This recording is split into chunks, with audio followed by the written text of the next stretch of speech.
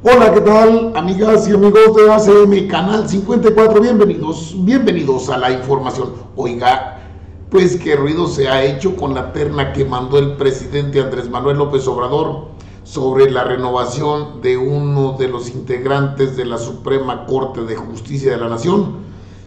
Un ministro termina su periodo, ahí no pueden hacer nada, se tienen que ir concluyen los largos años de canonjías, de, de esas vidas palaciegas con salarios exorbitantes. Ya sabe cómo se ponen como locos los prianistas cuando no pueden hacer mucho. Ahora dicen que Andrés Manuel López Obrador les mandó una bola ensalivada.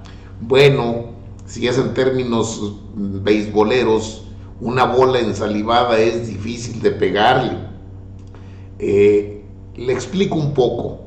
En el asunto de la terna que se mandó al Senado para la renovación de una, para la incorporación de un nuevo integrante, un nuevo ministro en la Suprema Corte de Justicia de la Nación, hubo tres nombres. Ahora resulta que parece que ninguno es, eh, cumple o se apega con lo que requieren los senadores o la propia bancada de Morena, que no se ponen de acuerdo en el Senado para reemplazar a, un, a una magistrada. Eh, aquí tengo la información para que usted la vea detenidamente, la compartamos.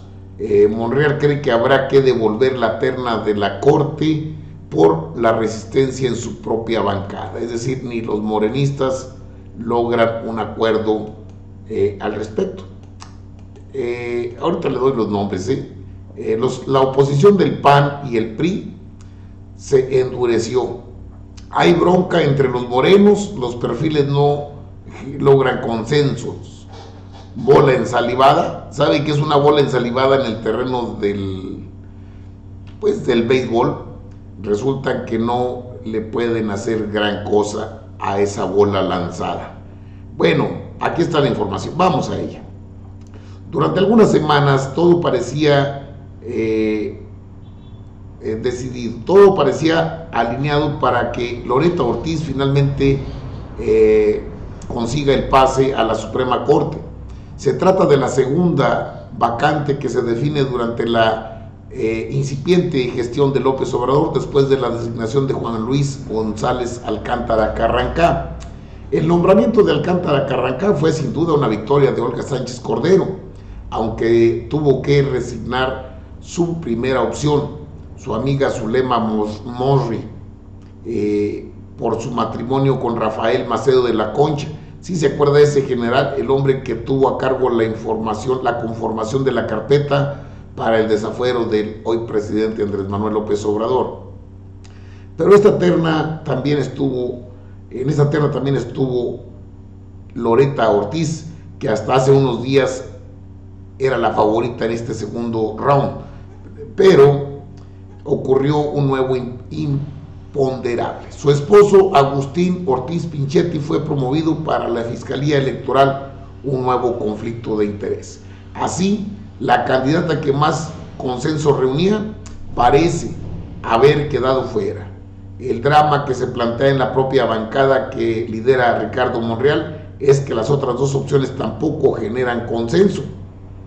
¿De quién hablamos? De Yasmín Esquivel. Se valora su, con su enorme trayectoria jurídica.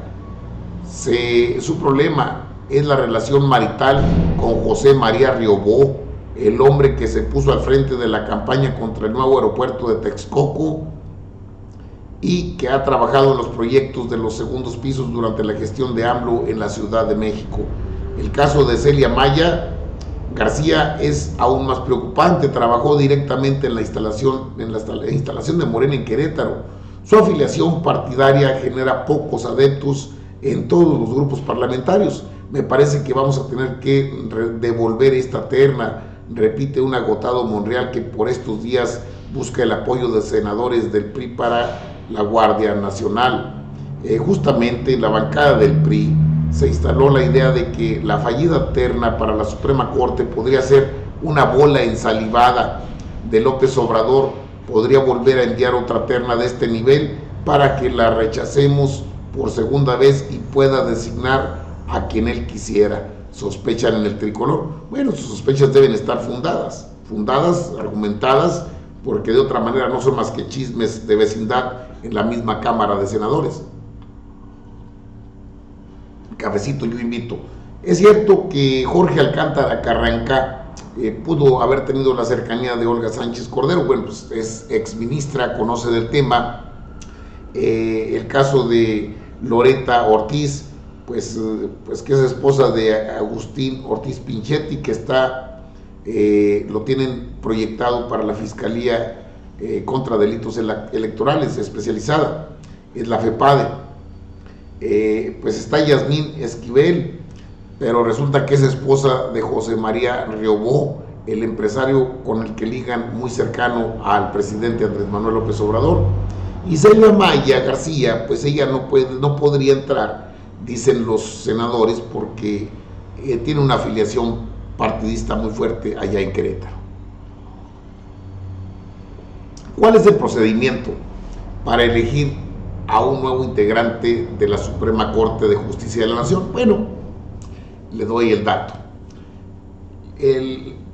así lo indica la ley. Se envía una terna al Senado. Si no se ponen de acuerdo, la regresan. El presidente de la República, en este caso López Obrador, tendría que mandar otra terna.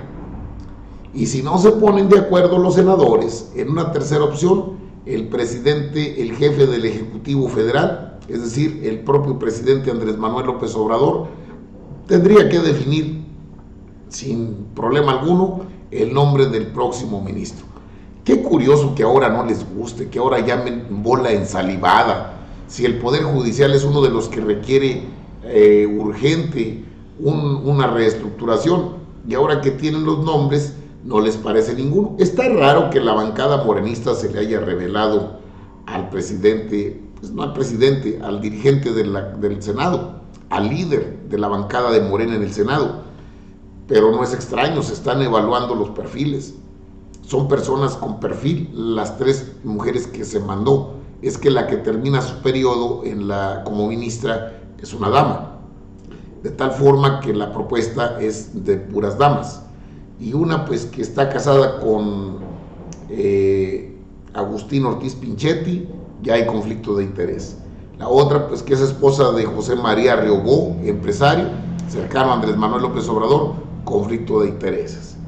Yasmín Esquivel García, pues que tiene afiliación morenista, conflicto de intereses.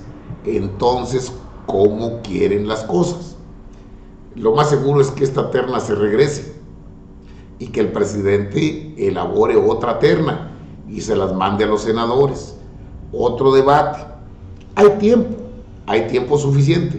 Me llama la atención que los priistas apenas se empiezan a dar cuenta que no están jugando a las vencidas con cualquier persona, sino con alguien que conoce de fondo la problemática que ha generado el llamado gobierno autollamado, porque ellos solo se han nombrado el gobierno paralelo, el contrapeso del poder, eh, en este caso del poder ejecutivo, y el contrapeso del poder legislativo. Ya ve cuántas y miles miles de amparos, eh, controversias constitucionales contra la ley federal de remuneraciones a servidores públicos. No les gustan los nuevos sueldos. Por eso resulta imperativo abordar el tema, mm, cómo están las cosas. Una bola ensalivada me parece que se quedan cortos, porque si algo ubica el presidente es el contexto donde no le permiten gobernar y erradicar la corrupción. Vamos, de 500 personas que meten a la cárcel por guachicoleo, pues creo que solamente 50 pueden ser procesadas. Ay, las leyes están hechas a modo, a modo de los que han saqueado a este país, de los corruptos, de los que todos los días el presidente de la República dice el gran problema de México es la corrupción, el saqueo descarado de los neoliberales y ahora resulta que no les gusta. No, nos está mandando una bola ensalivada, quiere nombrar al, a, él, quiere nombrar a la próxima ministra. Que no fue así durante muchos años. Que no fue con decisiones tomadas desde la presidencia de la República y vamos, que tienen su lugar, está la terna, no les parece, no les gusta, eh, no les atrae la idea de, la austeridad republicana y tienen en, en, el Poder Judicial a su gran aliado. Lo que pasa es que los tiempos se vencen y este, este segundo nombramiento pues le corresponde la propuesta al presidente, la decisión al Senado.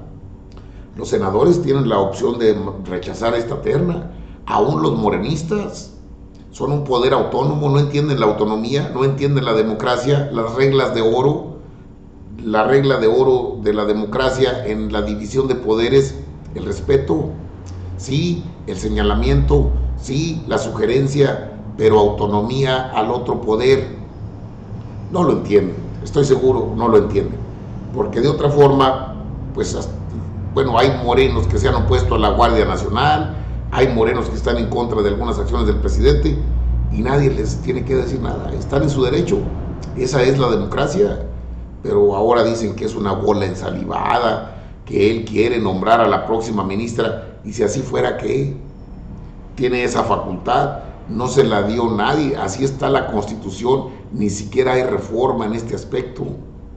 Si fuese más dura eh, el ataque, si fuera más frontal el ataque al Poder Judicial, ya los hubiera renunciado, porque también le asiste esa posibilidad al presidente de México, emitir un decreto y determinar cuáles ministros o ministras y ministras deban presentar su renuncia. Decreto presidencial, si saben de qué hablo, ¿verdad? Es el tema, está dentro del tema. ¿Qué es lo que pueden hacer? Bueno, reclamar, como lo hacen, echarle la culpa a un agotado, sí, Ricardo Monreal, que ha tenido bastante trabajo en el Senado. Tuvo que corregir la plana de la Guardia Nacional, ha estado en negociaciones con panistas, con priistas, y debe ser agotador.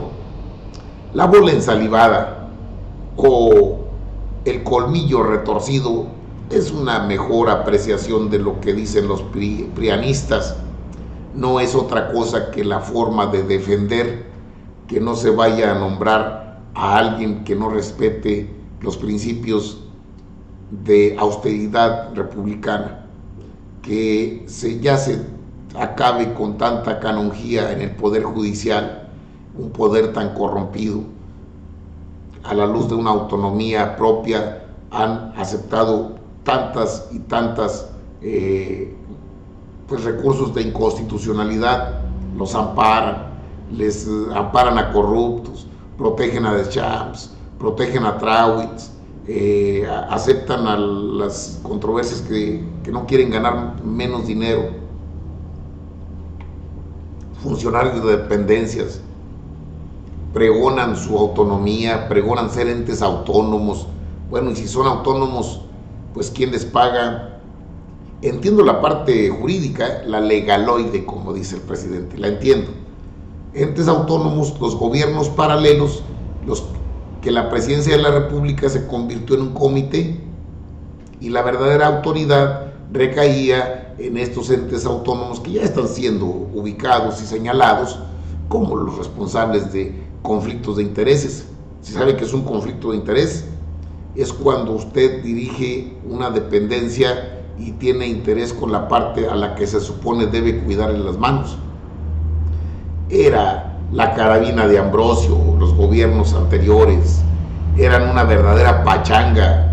¿No les parece pues Loreta Ortiz? ¿No les parece Yasmín Esquivel? ¿No les parece Celia Maya? Bueno, pues regresen la terna para que llegue otra terna enviada por el presidente, porque es el responsable de enviar la terna, esa terna y si tampoco les gusta, entonces la regresa. Y ya regresada, entonces le corresponde al titular del Ejecutivo, en este caso al presidente de la República, definir quién sería la próxima ministra. Ya con dos oportunidades y no se ponen de acuerdo, ni hablar. Corresponde al presidente tomar decisiones porque no puede quedar un puesto vacante.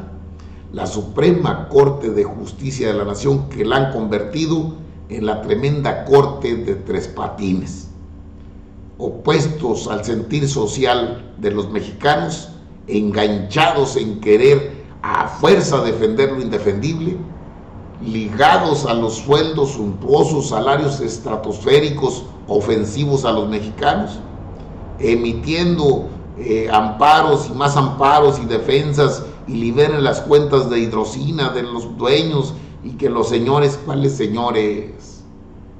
¿Cuáles? Si están acusados de saqueo al país, de robar combustible, de no poder, no coinciden sus cuentas, de vender millones de litros de gasolina sin que estén comprados en Pemex, ¿a eso le llaman transparencia?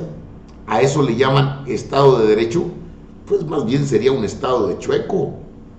Interesante la terna que se ha mandado. Ya está también en boga, ya está en capilla eh, el asunto de las estancias infantiles, las guarderías que tanto defienden los panistas. Ya tienen los datos duros.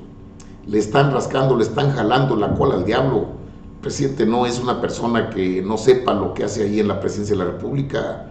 El presidente de los mexicanos es una persona preparada, enterada, hasta les deja temas de investigación, a ver si le entran. Ya está la terna, no les gustó, regrésenla. Es que nos va a mandar otra terna con iguales perfiles. Es el presidente el que manda la terna, ya no son ustedes.